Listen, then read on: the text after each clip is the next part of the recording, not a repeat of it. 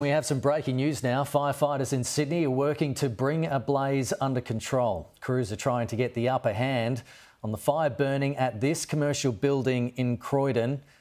Some locals claim e bikes containing lithium batteries are stored at the site. We don't know yet whether that's the cause.